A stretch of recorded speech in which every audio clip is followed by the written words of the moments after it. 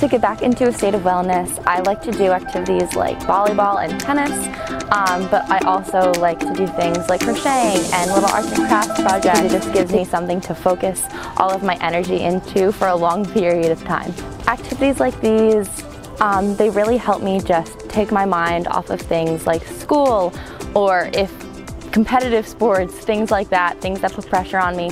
They just really help me forget about those things and focus on having fun or focus on making this project look nice, anything like that, things that bring me joy. Um, I really like playing sports like tennis and volleyball because I get to do them with my friends. Um, I, I just started tennis freshman year um, on a whim because I wanted to go out for another sport with my friends. We had already played volleyball together and I've just really enjoyed it.